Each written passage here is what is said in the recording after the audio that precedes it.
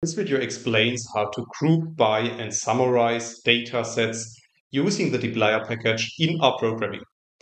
I have seen many people struggling with this topic and for that reason I have prepared some simplified examples that illustrate this topic quite well.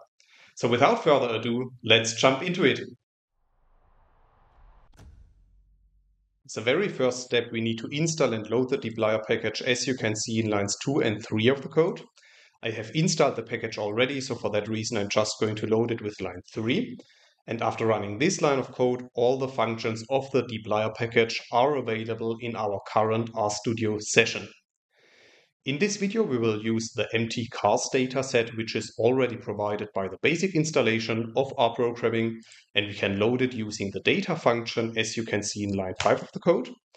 And after running this line of code, you can see our data set appearing at the top right of RStudio. We can also print the data set as you can see in line 6. So after running this line of code, you can see that the data is appearing at the bottom in the RStudio console. We can also click on the mtcars data set at the top right of RStudio, and then you can see the structure of our data set in a new window. And as you can see, this data set contains different cars in the different rows of the dataset, and it also contains certain information about these cars, such as the miles per gallon, the number of cylinders, the gear, and so on. So in this case, I want to show you how to use the functions of the dplyr package, namely group by and summarize, to create grouped statistics of our data. And in this example, we are interested in grouping our data based on the cylinder column. And we want to calculate the mean of the miles per gallon by the different cylinder numbers. And for this, we can use the code that you can see in lines 8 to 10. So first, we have to specify the name of our data set. So in this case, our data set is called mtcars. And then in the next step, we have to apply the pipe operator. So the pipe operator can always be used to apply a function to a certain data set and then apply another function to the output of this and so on. So in this case, you can see that we apply the group by function to the previous step of the pipe, so to the mtcars data set. And then afterwards, we apply the summarize function to the output of this by specifying another pipe operator. However, in this case, within the group by function, we also need to specify based on which column we want to group. So in this case, we want to group based on the cylinder column.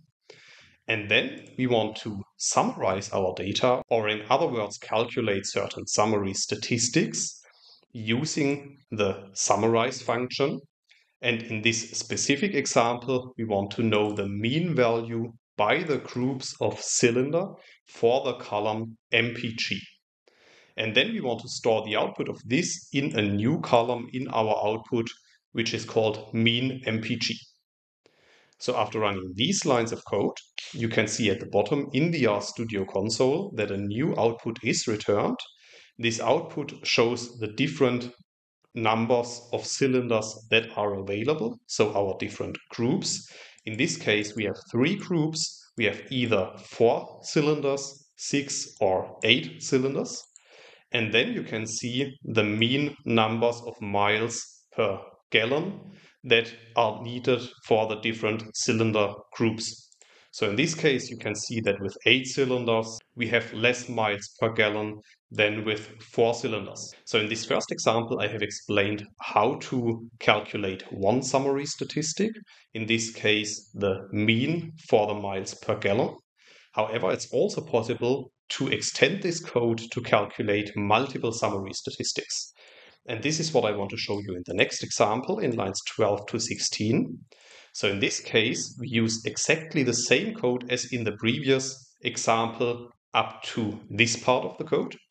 However, then afterwards, we specify multiple summary statistics that we want to calculate. So first, we once again specify the mean of MPG, as you can see in line 15 of the code. So this is still the same as in line 10. However, then we specify a comma And afterwards, we specify another summary statistic that we want to calculate. So in this case, the maximum value by group.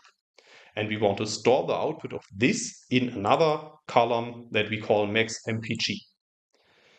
So after running these lines of code, you can see that another output is returned.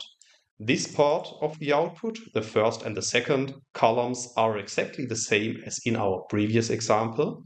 However, this time we have added another column to our output, which is called max MPG. And this column contains the maximum values by group. And once again, you can see that the maximum value for four cylinders is higher compared to eight cylinders. Now, if you wanted to calculate even further summary statistics using the summarize function, then you could add another comma and another calculation below this code. Now, until this point of the video, we have calculated grouped statistics based on one grouping column, more precisely based on the cylinder groups. However, we can also use multiple columns to group our data. And this is what I want to show you in the next example in lines 18 to 20 of the code. So once again, we specify the mtcars data set, a pipe operator, the group by function, and then within the group by function, we specify multiple columns to group our data based on multiple columns. And in this case, we want to group our data once again based on the cylinder column. However, in addition to that, we also want to create groups based on the gear column. And for that reason, we specify a comma and another column name within the group by function. And then in line 20 of the code, we have basically exactly the same syntax as in line 10. So we specify that we want to summarize or create summary statistics for our data using the mean function. And we want to calculate the mean of the miles per gallon. And we want to store this in a column called mean MPG. So if you run these lines of code, you can see that another output is returned. And as you can see in this case, the output has more rows because in the first and the second column, we have the different combinations of cylinder and gear. So as you can see, we have three rows for four cylinders, three rows for six cylinders, and two rows for eight cylinders. And then these rows are combined with three, four, and five gear. The reason why we have only two rows for eight cylinders is that we do not have a combination of eight cylinders and four gear. And then you can see on the right side in the last column of this output that the values, the mean values of these subgroups are shown. So as you can see, for example, in the group four cylinders, three gear, we have a mean value of 21.5. If you would like to learn more about R programming and data manipulation using the dplyr package, you might have a look at our online courses because we will soon start a new course on data manipulation in R using dplyr and the tidyverse.